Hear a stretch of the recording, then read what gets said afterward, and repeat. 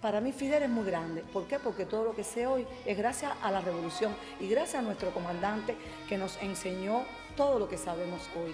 El más grande. El único.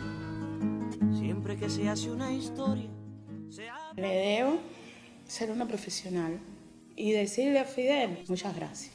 Martí decía que la educación era un derecho de todos. Y pienso que si un, una- un líder ha cumplido con ese precepto, ha sido Fidel.